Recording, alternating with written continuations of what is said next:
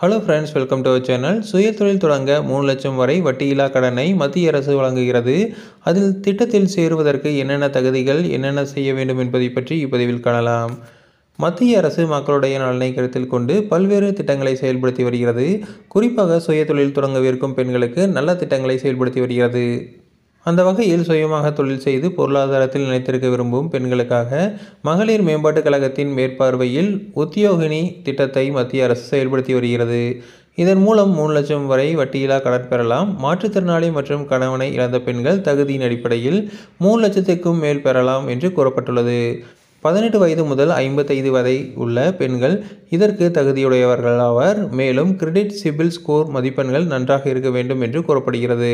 கூடுதல் விவரங்களுக்கு அருகில் உள்ள வங்கிகளை தொடர்பு கொள்ளலாம் என்றும் தெரிவிக்கப்பட்டுள்ளது.